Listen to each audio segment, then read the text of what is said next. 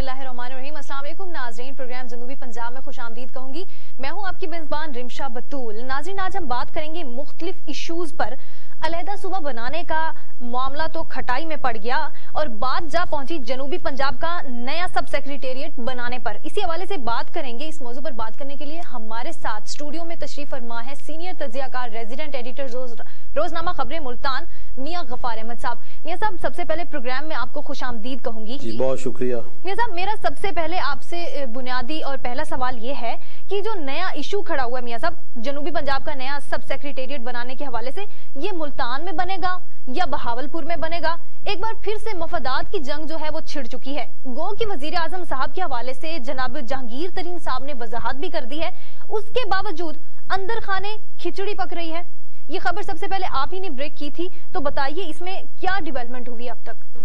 جی بسم اللہ الرحمن الرحیم۔ دیکھیں، سب سے پہلے تو یہ ہوا کہ جب جنوبی پنجاب صوبہ محاذ راتوں رات بنا اور اس میں بہت سے ایسے لوگ آ گئے جنہیں اندازہ تھا کہ سابقہ کارکردگی کے حوالے سے ان کے لیے یہ جو الیکشن ہے جو الیکشن دو ہزار اٹھارہ جولائی میں ہوئے، وہ الیکشن ان کے لیے مختلف، ان کے لیے وہ الیکشن خاص مشکل ہے۔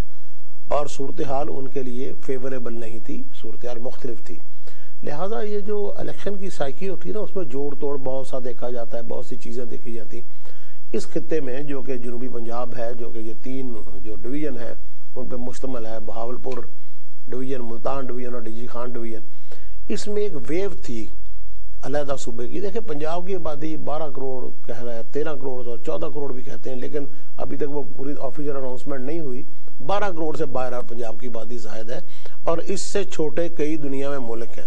آپ کا ہم سائے ایران ہے وہاں درجنوں کے سینکڑوں صوبے بن چکے ہیں۔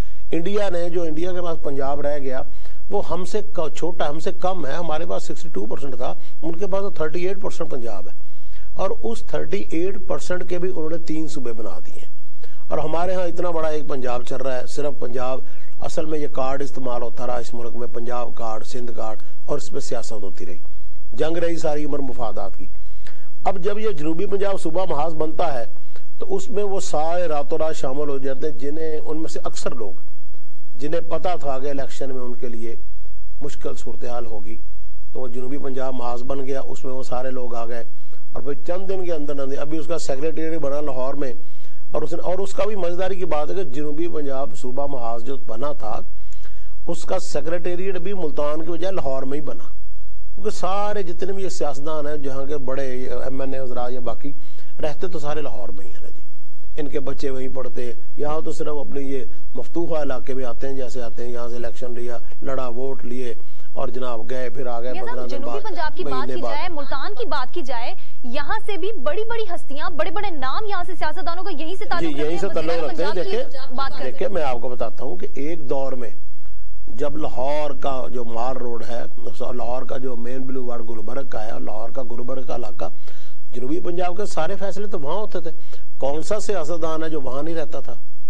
مجھے یاد ہے کہ جب یہ وزیر اعلیٰ بنے آپ کے، وزیر اعظم بنے، بلک شیر مزاری، تو ان کے گھر میں جو پریس کانفرنس، پہلے متعارفی پریس کانفرنس ہوئی، ان کے جو میٹنگ ہوئی، میڈیا ٹاک ہوئی تھی، ان کے گھر میں ہوئی تھی، ان کا گھر گلبرگ لاہور میں مزاری سارے وہی رہتے ہیں، بہارپور کے لوگ وہاں رہتے ہیں، ڈی جی خان کے وہاں رہتے ہیں، آپ کے اللہ بارک فاروق غاری صاحب کا وہاں گھر ہے، شاہ محمود قرائی صاحب کا وہاں گھر تو یہ سارے ہیں تو وہیں پہ۔ بات ہو رہی تھی کہ ایشو بنا۔ اب انہیں ایک پلیٹ فارم مل گیا اور پلیٹ فارم کی وجہ سے انہیں بے انتہا ووٹ ان کو پڑے اور جنوبی پنجاب نے عمران خان کو اتنا ہیوی مینڈٹ دیا کہ عمران خان نہ صرف مرکز میں حکومت بنانے میں کامیاب ہوئے بلکہ پنجاب میں بھی انہیں حکومت بنانے میں کامیابی ملی اور پنجاب میں حکومت بنانا بہت بڑی کامیابی تھی۔ میں سمجھتا ہوں کہ یہ کامیابی کم از کم پندرہ پندرہ تینتیس سال بعد ملی ہے۔ تھوڑا عرصہ کے لیے منظور بٹو صاحب رہے، لیکن تینتیس سال بعد یہ کامیابی ملی ہے اور تحریک انصاف کو ملی۔ اور اس کے پیچھے بیک گراؤنڈ میں نے آپ کو بتا دی کہ تحریک انصاف کی کو جو ان کا جو اتفاق ہو، اتحاد ہوا اس کے ساتھ جنوبی پنجاب صوبہ محاذ کے ساتھ۔ اور اس اتحاد کے نتیجے میں الیکشن میں ان کو ووٹ پڑے ہوئے، جیت گئے۔ اب الیکشن تو ہو گیا ایک جیت۔ اب ذرا اب یہاں، اب گیم شروع ہو گئی۔ اچانک فیصلہ ہوا کہ ابھی اس صورتحال میں جو اس وقت صورتحال پرویل کر رہی ہے اگر جنوبی پنجاب صوبہ بنتا ہے یا تین ڈویژنوں پر مشتمل ایک علیحدہ صوبہ بنتا ہے، تو ایٹومیٹکلی باقی پانچ صوبے، باقی جو پانچ ڈویژن ہیں پنجاب کے، دیکھیں پنجاب کے آٹھ نو ڈویژن ہے ٹوٹل نو ڈویژن میں سے تین ڈویژن تو یہ بنتے ہیں، اور باقی چھ ڈویژن تو اوپر پنجاب کے ہیں۔ اور ان چھ ڈویژنز میں اکثریت جو ہے مسلم لیگ نون کی ہے۔ اب مسلم لیگ نون کی اکثریت کی وجہ سے اگر یہ علیحدہ صوبہ بنتا ہے تو وہاں تو ایٹومیٹکلی حکومت نون لیگ کی بن جائے گی۔ تو یہ ایک بہت بڑی رکاوٹ ہے۔ لہٰذا میں یہ سمجھتا تھا، جو ہی الیکشن کے رزلٹ آئے، تو مجھے اسی وقت اندازہ ہو گیا کہ اب صوبے والا معاملہ تو لیٹ ہو گیا۔ اب یہ بنا بھی تو الیکشن کے قریب جا کے بنے گا۔ حکومت اپنے آخری دن میں بنائے گی تاکہ اگلے الیکشن کو کی اسٹریٹجی کو طے کر سکے۔ اب رہا مسئلہ کہ یہاں پہ جنوبی پنجاب کے ایک علیحدہ سیکرٹیری بنا دیا جائے۔ اس کے لیے بہت عرصے سے پرپوزر ملتان ہی کی تھی۔ اب سی ایم سیکرٹیریٹ میں یہ بڑی حیران کن ڈیولپمنٹ ہے کہ سی ایم سیکرٹیریٹ میں کسی حد تک بہت حد تک ہولڈ بہاولپور کا ہے۔ سی ایم کے جو پرنسپل پرنسپل سیکٹری ہیں ڈاکٹر اہیل صدیقی صاحب، وہ بھی بہاولپور کے ہیں۔ اچھا جو جنوبی پنجاب صوبہ، صوبے کے لیے جو کمیٹی بنی، اس کمیٹی کے سربراہ طاہر بشیر چیمہ صاحب، جو طاہر بشیر چیمہ صاحب واقعی وزیر ان کے بھائی ہیں، وہ بھی بہاولپور سے ہیں۔ پھر ان کو بہاولپور کے نواب زدگان کی حمایت بھی حاصل ہو گئی۔ گزین عباسی صاحب جو ہیں، وہ ان کے ساتھ شامل ہیں۔ اور جو اس میں، اس کمیٹی میں، جو کمیٹی اس کے لیے بنی اس میں جتنے بھی ہیوی ویٹ تھے، وہ سارے کے سارے بہاولپور اور راجن پور سے۔ اچھا راجن کو پور کو بھی سوٹ بہاولپور کرتا ہے ملتانی ملتان دور پڑتا ہے۔ وہاں سے اگر دریا کے اوپر اگر آپ چاچرا شریف سے، ادھر سے اگر آپ آئیں، جو پل بن رہے ہیں، اور ان میں سے دو پل اور بنے تو بہاولپور کا تو ایک گھنٹے کا سفر، ملتان کو تو تین، ساڑھے تین گھنٹے کا سفر بنتا ہے۔ لہٰذا اس صورتحال میں اگر دیکھا جائے تو راجن پور والوں کو بھی سوٹ کرتا تھا بہاولپور اب دیکھیں، ہر کسی کا مفادات کی اس کو ہم جنگ نہیں کہہ سکتے۔ ساری بات ہے، ہر کسی نے اپنے علاقے لیے فیسلٹیز لینی ہے۔ میں طاہر بشیر چیمہ اور طاہر بشیر چیمہ صاحب کو بھی غلط نہیں کہتا۔ ظاہری بات ہے، ان کو بہاولپور کی عوام نے ووٹ دیے تو وہ تو ان کے حق میں بات کریں گے۔ اب یہاں بدقسمتی یہ ہوئی کہ ملتان کا یہ جو کمیٹی بنی، اس میں ملتان کی نمائندگی نہ ہونے کے برابر تھی اور کوئی بھی مضبوط آواز ملتان سے اٹھنے والی نہیں تھی۔ اب انہوں نے بڑے بہت تیزی سے اس کو گیم بنائی۔ اور گیم بنا کے انہوں نے راجن پور والوں کو بھی کسی حد شامل کر دیا۔ اب جو سیہڑ تھے وہاں کے لیا کے ان کا انٹرسٹ کوئی نہیں ملتان بنے بہاورپور بنے۔ چلے کوئی فرق نہیں پڑتا۔ حالانکہ انہیں بہاورپور کی نسبت ملتان نزدیک پڑتا ہے۔ پھر اس میں ایک اور ڈیولپمنٹ آ گئی۔ وہ ڈیولپمنٹ یہ آئی جی کہ نہ ملتان ہو نہ بہاورپور ہو۔ جہانگیر ترین صاحب کی بڑی کوشش تھی ناہل ہونے سے پہلے کہ اس کو وہ میں بتا رہا ہوں میں بتا میں ایک اور ایک اس کو تاریخی اور بھی حیثیت ایک اس کی اور بھی ایک ایگریمنٹ ہوا تھا، جب بہرپور ریاست ختم ہوئی اور اس کا الحاق پاکستان کے ساتھ ہوا، تو اس وقت یہ اصولی طور پہ طے پایا تھا کہ جب بھی کبھی دوبارہ صوبائی خود مختاری بنے گا صوبہ بنے گا، تو بہاورپور ایک علیحدہ صوبہ بنے گا۔ ان کے پاس ایک اور اس کے حوالے سے ایک نائنٹین سیونٹی ون میں بہاورپور صوبہ بحالی کی بہت زور کی تحریک بھی چل چکی ہے اور اس تحریک کے لوگوں نے ووٹ بھی لیے تھے۔ یہ میں آپ کو جو اس کا پس منظر آپ کو بتا رہا ہوں۔ اچھا اسی طرح ملتان بھی میں نے آپ سے بتایا کہ صوبائی ہیڈ کوارٹر رہا، ماضی میں رہا اور بہت عرصے تک رہا کہ دنیا کا یہ سب سے واس دنیا کے وقت پرانا ترین شہر ہے، قدیم ترین شہر ہے، جس میں لوگ رہتے ہیں، ورنہ اس کے ہم اثر ہم عمر جو شہر ہیں، وہ تو کھنڈر بن چکے ہیں۔ تو لہٰذا اس کی بھی ایک تاریخی حیثیت ہے۔ سب سوری ٹو انٹرپٹ بٹ میرا آپ سے کوشچن یہ ہے کہ دونوں شہر بہت ہی اہمیت کے حامل ہیں۔ آپ کے خیال میں، آپ کی سوچ کے مطابق دونوں شہروں میں سے کس شہر میں سے زیادہ جو ہے آواز مضبوط اٹھائی گئی ہے؟ صوبے بنانے کے حوالے سے۔ صوبہ بنانے کے حوالے سے دو قسم کی آوازیں سامنے آ رہی ہیں۔ ایک تو لوگ ہیں جو کہتے ہیں کہ سرائکی علاقوں پر مشتمل سرائکی صوبہ بنایا جائے۔ سرائکین تنظیمیں بھی ہیں۔ اس میں ان کا جو کریم ہے، ان کی جو باؤنڈری ہے، وہ تو بہت طویل ہے۔ اس میں تو سارا ڈیرہ اسماعیل خان بھی ہے۔ کہ بھی کسی زمانے میں ڈیرہ اسماعیل خان یہ ملتان ہی کا حصہ تھا، ڈیرہ ڈیرہ غازی خان، ڈیرہ اسماعیل خان، یہ ملتان کا، اسی کے ساتھ شامل تھے۔ پھر ان کا تو مطالبہ اگر دیکھا تو جیکبا بات ہے کی بیلٹ ہے۔ پھر آپ کا ڈیرہ بکتی ڈیرہ براج جمالی اور سارا یہ جو اپنا ہے آپ کا وہاں تک یہ سارا سرائکی بیلٹ ہے۔ تو یہ تو بات جو ہے نا جس بہت یعنی کہ یہ ممکن نہیں ہے کہ آپ چاروں صوبوں سے کوئی نہ کچھ کچھ، نہ کچھ علاقہ لے، یہ ممکن نہیں ہے۔ لہٰذا ان کا ابھی تک جو بات ہے نا، وہ یہ ہے کہ ڈیرہ اسماعیل خان تک وہ محدود ہے۔ اچھا ایک آواز یہ ہے، ملتان کی میں سمجھتا ہوں کہ ملتان کی اس حوالے سے آواز کمزور ہے۔ اب بھاولپور کی آواز جو ہے وہ بہت مضبوط ہے۔ بھاولپور کی آواز کے حوالے سے کیونکہ وہاں وہ علیحدہ صوبہ تحریک ٹھیک چلی تھی، پھر بند ہو گئی، پھر پچھلے دنوں بھی، آج سے تین سات سال پہلے بھی یہ ایشو اٹھا اور خاصا اس پہ کام ہوا، پھر وہ اچانک رک گیا۔ تو اب جہاں تک ان کی دیکھے نا، تو وہ اپنی جگہ پہ ٹھیک ہے۔ ابھی معاملہ یہ ہے کہ ابھی تو صرف صوبہ تو بھی بن نہیں رہا، وہ تو بنے گا جا کے دو صوبے بنے یا ایک بنے یا سرائکی صوبہ بنے یا جنوبی پنجاب بنے، وہ تو بنے گا الیکشن کے قریب جا کے۔ ابھی سوال یہ ہے کہ جنوبی پنجاب سیکریٹریٹ کہاں بنے؟ یہ سیکریٹریٹ، سب سیکریٹریٹ بننا جو یہ پہلی اینٹ ہے۔ اسی کے بعد فیصلہ ہونا کہ ہیڈ کوارٹر کون ہوگا، کون سا شہر ہوگا صوبے کا۔ اب اس میں وہاں آگے بڑی خوبصورت گیم میں سمجھتا ہوں کہ بہاولپور والوں نے لودرا پہلے تھا اب لودرا ختم ہو گیا۔ لودرا پہلے پہلے جہانگیر ترین صاحب کی باقاعدہ کوشش تھی کہ لودرا کو صبائی ہیڈ کوارٹر بنایا جائے۔ اب نہیں اب نہیں کیونکہ اب اب اب ان کی آواز کمزور ہو گئی ہے۔ اب بہاور ملتان کے درمیان ٹائی ہے۔ میں نے یہ ساری خبر بریک کی۔ تو جب یہ خبر بریک کی تو اس وقت یہ سارا بالکل اندر خانے یہ سارا کام چل رہا تھا۔ میں نے اس کو اوپن کر دیا۔ تو اس پہ پھر الیکٹرانک میڈیا نے ہماری خبر پک کر لی، روزنامہ خبریں کی۔ پھر ایک شور مچ گیا، شام تک پورا ڈرم بیٹ ہوا۔ پھر جناب وزیر اعظم صاحب نے اس پہ جہانگیر ترین صاحب سے کہا۔ جہانگیر ترین صاحب نے پھر مختلف چینلز پہ اس کی باقاعدہ تردید کی کہ نہیں جی جو جنوبی پنجاب کا جو سب سیکریٹریٹ ہے، وہ ملتان میں ہی بنے گا۔ تو ایک لحاظ سے وہ ایشو دیکھنے میں عارضی طور پہ وہ رک گیا، ختم ہو گیا، ملتان فائنل ہو گیا۔ لیکن ابھی بھی پورے زور سے کوشش کر رہے ہیں۔ اس میں میں ایک اور آپ کو بات بتاؤں۔ جی یہاں پہ تارک بشیر چیمہ صاحب جو ہیں آج دو ہزار دس میں آج سے ٹھیک آٹھ سال پہلے جناب پرویز لائی صاحب نے باقاعدہ کمپین چلائی تھی۔ اس وقت بہاور صوبے کی انہوں نے بات نہیں کی تھی۔ اس وقت انہوں نے بات کی تھی جنوبی پنجاب کی۔ اور انہوں نے ملتان میں ایک بہت بڑا جلسہ کیا تھا۔ اس جلسے میں تارک بشیر چیمہ صاحب بھاولپور سے بہت بڑا جلوس لے کے شامل ہوئے تھے۔ تب انہوں نے بات کی تھی جنوبی پنجاب کی۔ اب جب بات آئی علیحدہ صوبے کی، تو بہاولپور ان کا حق بنتا ہے، وہ ٹھیک ہے، ان کا حق بنتا ہے، وہ کریں ابھی جو اس وقت، ابھی، اب اس وقت تک جب ہم بیٹھے، یہ بات کر رہے ہیں، ابھی تو یہی ہے عمران خان صاحب کا اور وفاقی حکومت کا کہ اس کا ہیڈ کوارٹر سب سیکریٹریٹ جو ملتان میں بنے۔ اور موسٹ پرابلی انہوں نے چیف چیف جسٹس کو ریکویسٹ بھی کی ہے کہ یہاں جو جوڈیشل کمپلیکس جو، کی جو عمارت ہے، وہ انہیں دے دی جائے۔ عارضی طور پہ یا بعد میں اس میں جو بھی اس کے معاملہ طے کر لیں۔ ابھی تک تو یہ ہے، لیکن اپنی کوششوں سے پیچھے نہیں ہٹے بہاولپور والے۔ اور جنوبی پنجاب صوبہ محاذ کے حوالے سے جو بعد میں کمیٹی بنی ہے، اس کے لیے اس کمیٹی میں ڈومینیشن جن لوگوں کی ہے، وہ بہاولپور کے حق میں ہے۔ ٹھیک ہو گیا۔ میاں صاحب، آپ نے بات کی کہ تارک بشیر چیمہ صاحب نے بات کی تھی، جنوبی پنجاب کی پہلے بات کی تھی۔ اب نہیں، اب وہ حق میں ہے بہاولپور کے۔ میاں صاحب، پہلے کیوں جنوبی پنجاب کی بات کی اور اب وہ بہاولپور کے حق میں ہے؟ تو ابھی یہ ساری یہ ہوتی ہے پوائنٹ سکورنگ اب کوئی بھی مجھے مثلا کوئی پنجابی کی مثال ہے کہ کہنا کچھ، کمانا کچھ، اس میں یہ بھی ہے کہ حکومت کو دباؤ میں لا کر زیادہ سے زیادہ مرات لی جائے۔ چاہے مونا سلائی صاحب کو ایک طرف بات چل رہی ہے فاقی وزیر بنانے کی۔ اچھا کیا ہوگا؟ ان کے پاس عددی اکثریت تو نہیں ہے، ان کے پاس سیٹیں تو چند ہے بہت ہی تھوڑی ہیں۔ ڈبل فگر میں بھی نہیں ہے پنجاب میں۔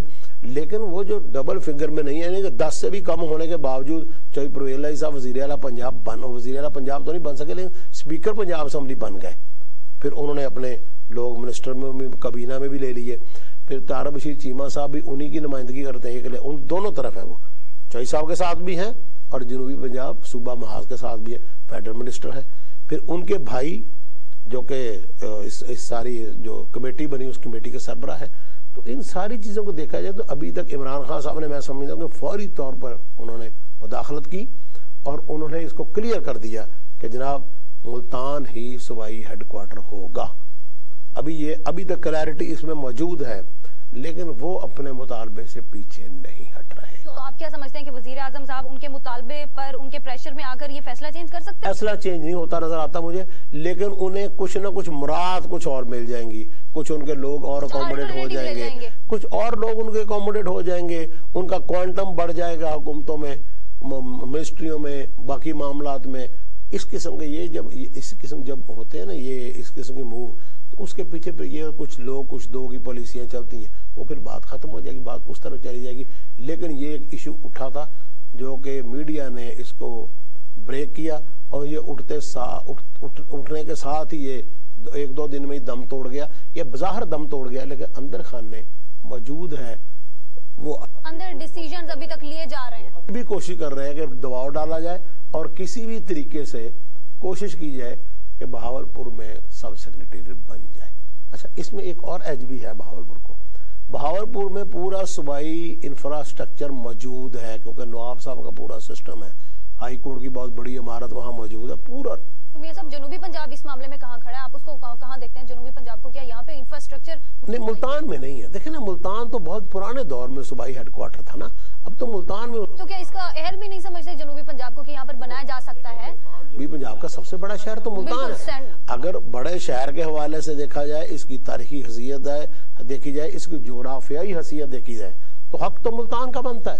لیکن دیکھیں سیاست میں بہت دیکھیں۔ میں میں اس ملک میں بہت سے ایسے معاملات ہیں کہ جو ڈسٹرکٹ بنے ڈسٹرکٹ کا حق کسی اور کا بنتا تھا بن کوئی اور گیا۔ تحصیل ابھی آپ وہاڑی دیکھ لیں۔ وہاڑی نائنٹین سیونٹی سکس کا ڈسٹرکٹ بنا ہوا ہے۔ لیکن وہاڑی کی تحصیل بورے والا آج بھی بزنس کے اعتبار سے کاروبار کے لحاظ سے ایریے کے لحاظ سے وہاڑی سے بڑی ہے۔ یہ ہوتا ہے، وہاڑی جب ڈسٹرکٹ بنا تھا تو وہاڑی میلسی سے بھی چھوٹا تھا، بورے والا سے بھی چھوٹا تھا، بہت ہی چھوٹا قصب تھا۔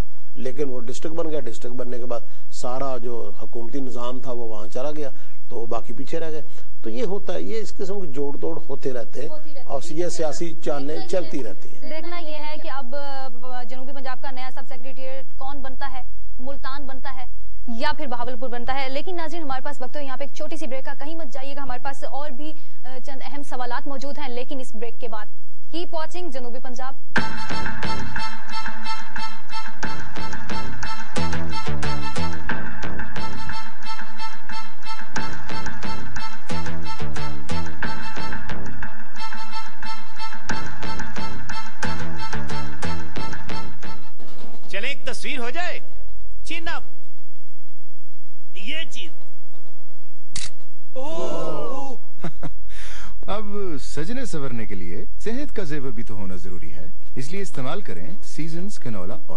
میں ہے اومیگا 3 جو قوت مدافعت بڑھائے کولیسٹرول گھٹائے اور آپ کو بیماریوں سے بچا کر ہمیشہ صحت مند بنائے۔ تو اب کھانا سیزنز کنولا میں پکاؤ گے تو کبھی نہیں پچھتاؤ گے سیزنز کنولا سب اچھے کے لیے۔ Seasons for all the right reasons. Pakistan کی سب سے بڑی خاص سیل اپ ٹو 92% آف وزیر اعظم صاحب کا آپ کل کا خطاب دیکھ لیں۔ کہ وزیر اعظم صاحب نے سو دن کی کارکردگی کے حوالے سے کل بات کی کہ بائیس کروڑ کی آبادی میں بائیس کروڑ کی آبادی میں دو لاکھ سے زائد سالانہ آمدن ظاہر کرنے والے لوگ کتنے ہیں؟ صرف اور صرف بہتر ہزار۔ دو ہزار، دو لاکھ ماہانہ صرف بہتر ہزار۔ اور یہاں میں سمجھتا ہوں کہ کسی ایک محلے میں کئی گھر بیٹھے ہیں جو دو لاکھ روپے ماہانہ جن کی آمدن۔ اس کی وجہ کیا ہے؟ اب ٹیکس لوگ دیتے ہی نہیں ہیں۔ اچھا اور ٹیکس لینے میں ٹیکس چوری کا سب سے بڑا سہولت کار از خود ایف بی آر۔ ہے میں آپ کو بتاتا ہوں، میں پچھلے دنوں پڑھ رہا تھا کہ کینیڈا میں ڈاکٹرز کی ایک تنظیم نے کہا جی کہ ہماری تنخواہیں کم کر دی جائیں۔ اچھا وہ ایک حیران کن بات ہے کہ تنخواہیں کم کر دی جائیں۔ انہوں نے کہا جی یہ جو سلیب ہے نا، اس کے اوپر پھر ہمیں ٹیکس اتنا پڑ جاتا ہے کہ ہم جو گھر لے کے جائیں گے، وہ کم ہو جائے گا۔ لہٰذا ہماری فی الحال تنخواہوں میں اضافہ نہ کیا جائے۔ ذرا تصور کریں کہ وہاں کیا صورتحال ہے۔ یہاں کیا ہے؟ یہاں سارا ٹیکس جو ہے، انڈائریکٹ عوام پہ پڑتا ہے۔ اور چند لوگ، دیکھا کیا ہے؟ اب بڑی بڑی گاڑیاں نکل رہی ہیں، کس کے نام پہ نکل رہی ہیں؟ کسی مزدور کے نام پہ، کسی کاریگر کے نام کسی ڈرائیور کے نام پہ۔ لوگوں نے ایمونیشن کا لائسنس بھی اپنے ملازمین کے نام پہ رکھے ہوا اسلحہ لائسنس بھی۔ لوگوں نے گاڑیاں ملازمین کے نام پہ رکھی ہوئی ہیں۔ ایک گھر اپنے نام پہ ہے، نو گھر ملازمین کے نام پہ ہیں۔ جنوبی پنجاب کے ایک سیاستدان ہے ایک ایم این اے ہے جن کے گیٹ پہ بیٹھا ہوا ایک ان کا ملازم اگر اس کے نام کی زمینیں دیکھی جائیں تو وہ اربوں پتی ہے کروڑوں پتی نہیں لاکھوں پتی نہیں اربوں پتی۔ لیکن وہ بیچارہ اس نے گرمی ہو سردی ہو وہ گیٹ پہ ڈیوٹی دیتا ہے۔ معلوم ہی نہیں ہے نا کہ وہ اتنا امیر معلوم ہو بھی انگوٹھے تو اسی کے لگتے پتہ ہے لیکن وہ جا کہاں سکتا ہے بھائی؟ وہ جا کہاں سکتا ہے؟ اب یہ جو بات انہوں نے کی کہ all the all the honest tax payers are audit just audit F B R یہ ایف بی آر کی tax reforms commission T R C کی رپورٹ ہے۔ اور اس رپورٹ میں انہوں نے یہ بھی کہا کہ ٹیکس جو ایمنسٹی اسکیم ہے وہ حکمران صرف اور صرف اس لیے وہ انٹروڈیوس کرتے ہیں کہ وہ غیر قانونی دولت کو لوٹنے والے، اس ملک کے نیشنل ایکسچیکر کو چوری کرنے والے اور اس ملک کو فائنینشلی تباہ کرنے والوں کو سہولت دی جا سکے۔ آپ دیکھیں زرداری صاحب آئے، انہوں نے اسکیم دی، نواز شریف آئے، انہوں نے اسکیم دی، پھر کیا ہوتا تھا؟ باہر کسی چیز کا سودا ہو گیا، چیز خرید لی، وہاں سے جہاز چل پڑا شپ شپ کراچی پہنچا تو دو گھنٹے کے لیے، چار گھنٹے کے لیے، آٹھ گھنٹے کے لیے، ایک دن کے لیے ایک ایس آر او جاری ہوا۔ فلاں چیز پہ ٹیکس اٹھا لیا جاتا ہے۔ اور وہ جو سامان اس جہاز میں ہوتا تھا، اربوں روپے کا، کروڑوں روپے کا، وہ پاکستان کے اندر داخل ہو جاتا تھا۔ جب داخل ہو جاتا تھا، وہاں سے کلیئر ہو تو پھر دوبارہ ایس آر او جاری ہوتا تھا کہ فلاں جو ایس آر او جاری ہوا تھا، اس کو کینسل کیا جاتا ہے، لہٰذا ٹیکس دوبارہ اس ملک کو اس طریقے سے لوٹا گیا۔ یہ کیسی اسٹریٹجی دیکھیں یہ انتہائی ڈھیٹ قسم کے انتہائی ڈھیٹ قسم کے اور انتہائی گرے ہوئے چور ہیں۔ ہمارے جو ہے نا ہمارے جو اکابرین جسے ہم کہتے ہیں۔ صاحب نے یہ بھی فرمایا کہ وہ جو ایف بی آر ادارہ ہے اس کو ٹھیک کرنے کے لیے اس پہ بہت محنت کر رہے ہیں بہت محنت کر رہے ہیں۔ اب میں آپ کو بتاتا ہوں اب یہ کیا کر رہے ہیں؟ یہ زیادہ سیونٹی پرسنٹ جو ٹیکس ہے وہ تو تنخواہوں سے لے رہے ایف بی آر بند کر دیں اگر سارا ٹیکس ہی تنخواہوں سے لینا ہے آپ نے۔ تنخواہ دار طبقے، اگر تنخواہ دار طبقہ لیٹ ہو جائے، ایک دن بھی تو اس کو بیس ہزار روپے جرمانہ۔ اب میں آپ کو بتاتا ہوں یہیں اسی شہر میں ایک فیکٹری مالک ہے۔ ان کا مال پورے پاکستان میں ان کا جو پروڈیوس کرتے ہیں، وہ جاتا ہے۔ اب ٹرک کا کرایہ ہے اگر ایک لاکھ روپیہ، تو وہ کیا کرتے ہیں؟ وہ ساٹھ ہزار روپیہ نقد دیتے ہیں ٹرک کو اور چالیس ہزار روپے کی ایک پرچی دیتے ہیں کہ بھی فلاں پٹرول پمپ سے آپ ڈیزل ڈلوا لو۔ وہ پرچی کیوں؟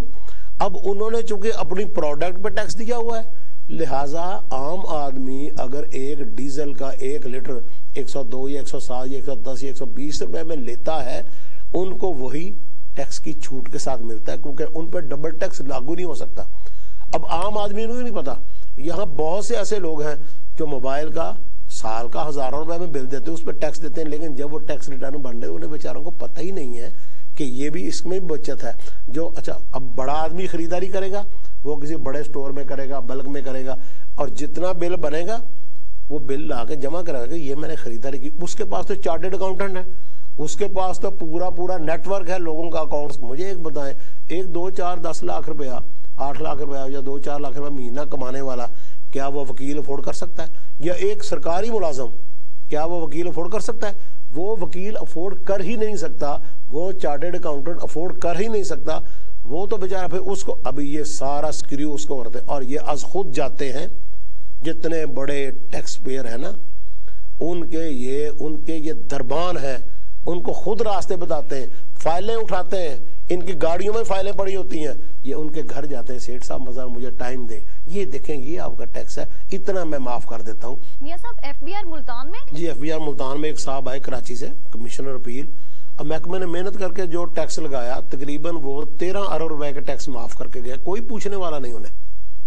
تیرہ کروڑ روپیہ لیا، ایک پرسنٹ ان کی کمیشن تھی، ایک پرسن کمیشن دو اور ٹیکس معاف کرا لو۔ اور اس اعلیٰ ترین کارگردگی بنا پہ اب وہ فورن ٹریننگ پہ جا رہے ہیں کہ ایک آدمی نے ملتان ریجن جنوبی پنجاب کو تیرہ ارب روپے کے ٹیکس سے محروم کیا اور وہ اس اعلیٰ کارکردگی بنیاد پر اس تباہی کی بنیاد پر اب وہ سلیکٹ ہو گئے ہیں کسی فورن مشن پہ، وہ تربیت کے لیے جا رہے ہیں۔ یہ صورتحال ہے، اس محکمے کی اتنی پیتھیٹک صورتحال ہے۔ پھر آپ دیکھیں، پچھلے دس سال سے ایک پرپوزل چل رہی ہے۔ ان کے پاس ٹوٹل ٹیکس دینے والے جو ہے نا، ان کے پاس رجسٹرڈ وہ انتالیس لاکھ ہیں۔ اور جن میں سے جو باقاعدہ اپنی وہ ریٹرن جمع کرواتے ہیں، وہ چودہ سے پندرہ لاکھ ہیں۔ اور اس ملک میں کمرشل کلیکشن ہے تقریباً ساٹھ لاکھ ففٹی نائن یا سکسٹی کے قریب۔ اور اس میں بھی بیس سے پچیس لاکھ ایسے ہیں جو ڈومیسٹک میٹر کے اوپر کمرشل ایکٹیویٹیز کر رہے ہیں۔ اگر دیکھا جائے پاکستان میں کم از کم کم از کم کمرشل ایکٹیویٹیز ایک کروڑ جگہ پہ ہو رہی ہے۔ اگر یہ انہیں صرف ٹیکس نیکٹ پہ لے آئے تو آپ کا انتالیس سے ایک دن میں ود اسٹوک آف پین ایک دن سے یہ انتالیس سے چالیس سے یہ ساٹھ پہ جا رہے بیس لاکھ ٹیکس پیئر آپ کے نیٹ میں نیا آ جاتا ہے۔ لیکن اگر یہ بیس لاکھ بندہ ٹیکس نیٹ میں آئے گا تو ان کی جیبوں سے وہ پیسہ نکلے گا جو افسران جو جو ان کے انسپیکٹر جو ان کے لوگ جاتے ہیں اور جو فائلیں اٹھا کے جا کے جو انڈر ہینڈ جو رشوت لیتے ہیں، جو حرام یہ اکٹھا کرتے ہیں، یہ کیا یہ ملک ہے مخل اس سے بڑے پاکستان کے دشمنی کوئی نہیں۔ اصل یہ ڈاکو ہیں، مہذب ڈاکو۔ اور میں آپ کو بتاؤں، کوئی ان پڑھ آدمی نے پاکستان کے طرح نقصان نہیں کیا، جتنا ان تعلیم یافتہ لوگوں تو میاں صاحب تو میاں صاحب پاکستان کے ایسے دشمنوں سے ایسے بلکہ کہنا چاہیے کہ ایسے ڈھیٹ دشمنوں سے عمران خان صاحب دیکھیں عمران خان صاحب لگے ہوئے ہیں۔ کام کر رہے ہیں اس میں۔ ٹیکس نیٹ پر لوگوں کو وہ لا رہے ہیں۔ اس میں اب کیا ہے؟ دیکھیں جی عدلیہ ہے۔ آپ میں کوئی ایک اس ملک میں رکاب میں اس اس پہ چیف جسٹس صاحب کو نوٹس لینا چاہیے۔ کوئی بندہ اس ملک میں ریکارڈ نکلوائے کہ ٹیکس چوروں کو کتنی بڑی سہولت کار ہماری ہائی کورٹ ہیں تو رونگٹے کھڑے ہو جائیں۔ ہر بندہ جس کو ٹیکس لگتا ہے، وہ ہائی کورٹ سے حکم امتنائی لے لیتا ہے سٹے لے لیتا ہے۔ اور ایک سال تو دو سال تو وہ سٹے معمولی بات ہے نا۔ اور دو سال میں وہ کروڑوں اربوں کا نقصان کر چکا ہوتا ہے حکومت پاکستان کا۔ یہ ہے، کیا ججوں کو نہیں پتا کہ ہم لاکھ روپیہ تنخواہ لیتے ہیں؟ ہماری تنخواہ اسی ٹیکس کی رقم سے جاتی ہے جس کو وہ سٹے دے رہے ہیں۔ اور یقین کیجیے، آپ ایک وکیل رکھیں، ایک اپلائی کریں۔ اچھا اس کے بعد اپنا ڈیٹ ان دا کورٹ پھر وہ گیا۔ اب محکمہ بھی ساتھ ملا محکمہ خود کہتا ہے جناب آپ یہ کمزوری ہیں اس کو ذرا ہائی لائٹ کریں اور جا کے سٹے لے لیں۔ محکمہ کوئی محکمہ ہی طرف سے سٹے کی مخالفت نہیں کرتا اور اس پہ جا کے اپلائی کر کے کوئی اس کا اپنا اپیل کر کے جلد کیس نہیں دار کرواتا۔ یہ سارا صورتحال۔ ٹھیک ہو گیا میاں صاحب صورتحال پہ بات اس پہ دوبارہ جو ہے ہم انکلوڈ کریں گے بات کریں گے۔ لیکن ناظرین وقت ایک چھوٹی سی بریکہ کہیں مت جائے گا کیپ واشنگ جنوبی پنجاب۔ ہو گیا۔ پاک پتن میں بھی بتا خوری پر ایک بس کو آگ لگا دی گئی۔ میازب یہ نئے پاکستان میں بھی ٹرانسپورٹر سے بتا خوری جاری ہے۔ اس کا خاتمہ کیسے ممکن ہے؟ جی یہ بہت ہی بہت ہی بڑا ایشو ہے۔ اور پاکستان میں یہ ایوب دور سے بھتہ چر رہا ہے اور آج تک یہ بھتہ ختم نہیں ہو سکا۔ اور میں اگر بڑی محتاط بات کروں، بڑی محتاط، تو صرف پنجاب میں روزانہ کا تین سے چار کروڑ روپیہ بھتہ اکٹھا ہوتا ہے۔ پنجاب کی کوئی سڑک ایسی نہیں ہے جس کے اوپر ہنڈا راج نہیں ہے اور جو بسوں سے، ویگنوں سے ان سے بھتے نہیں لے رہے۔ پنجاب میں کوئی ایسی سڑک نہیں ہے۔ نہ کوئی ڈسٹرکٹ بورڈ کی، نہ کوئی ہائی وے، نہ کوئی موٹر وے، ہر جگہ پہ بھتہ خور موجود ہیں ہر روٹ کے اوپر بھتا چلتا ہے۔ رجسٹرڈ بسیں اگر دس ہیں تو بھتے کی بنیاد پہ اسی روٹ پہ سو بس چل رہی ہے۔ رجسٹرڈ ویگنیں اگر دس ہیں، بیس ہیں، تو چل رہی ہیں ڈھائی سو، دو سو، ستر، اسی، یہ۔ اب میں آپ کو بتاتا ہوں، ہوتا کیا ہے؟ باقاعدہ ان تمام ٹرانسپورٹرز نے، ان میں سے اکثر تو سیاست میں ہے کسی کا مامو ایم پی ہے، کسی کا والد ایم این اے ہے، کسی کا کوئی۔ اور ان میں سارے یا ٹرانسپورٹروں میں کے لوگ سیاست میں ہیں، یا پھر یہ سیاست دانوں پر انویسٹ کرتے ہیں، ان کے اخراجات اٹھاتے ہیں۔ صرف ملتان سے، ملتان کے اڈے سے روزانہ کا جو بھتہ ملتان کے اڈے سے جمع ہوتا ہے میری معلومات کے مطابق پندرہ لاکھ روپے روزانہ ہے۔ کتنا؟ لاکھ روپے روزانہ۔ اور اس سے ٹریفک پولیس کو حصہ ملتا ہے ضلع انتظامیہ کو حصہ ملتا ہے ہر شہر میں ضلع انتظامی کو حصہ ملتا ہے۔ اب یہ جو واقعہ ہوا پاک وطن میں ایک ایم پی اے کا بھائی بھتا لیتا ہے دوسرے سے گجر گروپ بھتا لیتا ہے۔ گجر گروپ کے اور ایم پی اے کے بھائی کے درمیان بھتا خوری پہ لڑائی ہوتی ہے۔ اور وہ دیکھیں بس اڈے سے نکلی ہے، سواریاں اس میں بھری ہوئی ہیں۔ اور سواریوں نے پیسنجر نے چھلانگیں لگا کر جان بچائی، انہوں نے توڑے شیشے اور آگ لگا دی۔ اور پورا سوشل میڈیا پہ کسی نے ابھی تک ایکشن نہیں دیا اور ہوا کہاں؟ خاتون اول کے اپنے ڈسٹرکٹ باغ پتن میں۔ بس کو آگ لگا۔ ملتان میں کیا ہوتا ہے؟ شالیمار کمپنی یہ کون ہے؟ مجھے تو ایک طرف شیخ وقاص اکرم کی سوشل میڈیا پہ کوئی تقریر آتی ہے۔ قوم کے درد سے لپٹی ہوئی، قوم کے درد میں ایک ایک لفظ وہ تقریر کر رہے ہیں۔ قوم کے لیے وہ رو رہے ہیں۔ اپنے باپ شیخ اکرم کو نہیں روک سکے۔ ابو باس کر دیو۔ ابو بہت پتھا ہو گیا۔ اسی ابو حرام نہیں کھانا۔ چھ سے سات لاکھ روپیہ روزانہ کا بھتا سابق M N A Muslim League کے شیخ اکرم صاحب لے رہے ہیں۔ یہ جو جنگ کے شیخ اکرم صاحب، پانچ سے سات لاکھ روپیہ۔ ہر ویگن روزانہ پانچ سو روپیہ دے کے انہیں گزرتی ہے۔ تین رو اگر تین مرتبہ جاتی ہے پانچ سو روپئے ڈیلی کے حساب سے بھتا دیتی ہے۔ بس بھتا علیحدہ دیتی ہے۔ اور ہر جگہ پہ ان کے گنڈے کھڑے ہیں۔ نہ انہیں ضرورت ہے کسی اڈے کی۔ نہ انہیں ضرورت ہے کسی قسم کی کوئی قانون، نہ انہیں کو ٹیکس دینا ہے۔ سڑکوں کے اوپر ان کے گنڈے کھڑے ہیں۔ جو ویگن آتی ہے اسے پانچ سو روپئے لیتے ہیں۔ اب یہاں کیا ہوا؟ ایک روٹ کی ویگن جس نے پانچ سو روپیہ نہیں دیا، وہ یہاں سے نکلی احمد پور سیال جھنگ کے لیے۔ تو پیچھے سے ایک بس آئی ہے۔ شالیمار کمپنی کی بس ہے۔ بس کے پاس روٹ نہیں ہے۔ بس نے اس روٹ پہ نہیں آنا۔ بس میں سواریاں نہیں بیٹھی ہوئیں۔ بس میں دس بارہ گنڈے بیٹھے ہوئے۔ اور وہ نیو ملتان میں گاڑی کھڑی ہے۔ اچھا سب سے پہلے یہ کرتے ہیں، جس علاقے میں انہوں نے کام ڈالنا ہوتا ہے نا، اس قسم کی واردات، سب سے پہلے وہاں کے ایس ایچ او کو خریدتے ہیں کہ ہم نے یہ کام کرنا ہے۔ ایس ایچ او صاحب کی خدمت پوری پوری ہو جاتی ہے۔ یہاں بھی خدمت ہو چکی ہے۔ صرف پچھلے دس دن میں یہ میں نئے پاکستان کی بات کر رہا ہوں، یہ جنوبی پنجاب کی بات کر رہا ہوں، جہاں کے وزیر اعلیٰ ہیں، یہ نئے پاکستان میں پچھلے چند دن میں چار مقدمے درج ہوئے ہیں۔ یہ ٹرانسپورٹروں کی مار کٹائی کے بھتے کے جنگ میں ویگن توڑی گئی مظفر گڑھ میں ویگن توڑی گئی، بھتا لیا گیا، ملتان میں کھڑی ویگن سواریاں اتار رہی تھی کچھ لوگ اور کھڑے تھے، کوئی یہ جو رکشے، موٹر سائیکل رکشے کے اوپر کچھ لوگ بیٹھ رہے تھے۔ پیچھے سے پوری سپیڈ سے شالیمار کمپنی کی بس آتی ہے اور اس کو پیچھے سے ہٹ کرتی ہے۔ ویگن کا کنٹرول باہر ہوتا ہے۔ اب یہ کیا ایک بندہ مر گیا دس نشتر میں زخمی ہے کسی کی ٹانگ ٹوٹی ہوئی ہے کسی کا بازو ٹوٹا ہوا ہے۔ جتنے بھی بھتا خور ہیں یہ ان کا معاملہ تو ان سے ڈرائیور سے ہونا چاہیے نا ان کی ڈیلنگ ان سے ہونی چاہیے۔ وہاں سے بھتا وصول کرتے ہیں تو عوام سے لوگوں سے ان کا کیا مطلب ہے؟ ان کو زخمی کرنا۔ انہوں نے انہوں نے تو ویگن کو تباہ کرنا تھا۔ تو کو آتا مرد دیکھیں میں آپ کو ان کے دل میں میں بہت سخت بات کرنے لگا ہوں۔ ان کا ٹرانسپورٹر حضرات کا یہ مقولہ ہے اور ابھی تک یہ مہذب نہیں ہوئے، حالانکہ اس ملک میں بہت سی مہذب کمپنی آ گئیں، بس ہوسٹس بھی آ گئی بڑی تمیز آ گئی، لیکن یہ اسی طرح کے، اسی طرح کے باپ پچاس سال پہلے کے ان میں حیوانیت ختم نہیں ہوئی، ان کا ایک مقولہ ہے، میں آپ کو بتاتا ہوں۔ بھائی سڑک تے بندہ مر گیا، کتا مر گیا، ایک ان کے یہ مقولہ ہے یہ ان کا مقولہ ہے۔ جب مجھے بتاؤ کہ آپ کے پاس اگر چھ سات لاکھ روپے روزانہ یا کتنے میں ایسے بندے دو کروڑ روپے مہینہ بھتا اکٹھا ہو اور آپ کے دس دس بیس پچاس گنڈے آپ کے کھڑے ہر جگہ پہ گنڈے کھڑے پنجاب میں سب سے زیادہ ٹرانسپورٹ میں بھتا کون سا شہر دے رہا ہے کون سا شہر جمع کر رہا ہے؟ آپ کا لاہور کا اڈے لاہور کے تمام اڈے چاہے وہ بادامی باغ کا اڈا ہو چاہے وہ یتیم خانے کے سامنے بند روڈ کے اڈے ہوں، چاہے وہ ٹھوکر کے اڈے ہوں، کوئی بھی اڈا، بس کوئی بس بھتے کے بغیر نہیں نکلتی۔ اور اس بھتے کو پروٹیکٹ کون کر رہا ہے؟ ضلع انتظامیہ کرتی ہے، ٹریفک پولیس کرتی ہے، ہائی وے پولیس کرتی ہے، یہ بھتے چلتے ہیں۔ یہ جہاں بھی راستے میں، اب وہاں سے لاہور میں ملتان سے ایک بس نکلی ہے سائی وال میں بھی اس کا بھتا ہے، لیکن وہ تھوڑی مقدار میں اس کی جہاں سے بس نکلتی ہے، وہاں سے بھتا لیا جاتا ہے۔ ہر اسٹیشن پہ وہ تھوڑے پیسے لیتے پھر آگے لاہور لاہور سے جب وہ بس چلے گی واپس ملتان کے لیے، وہاں وہ بھتا دیں گے۔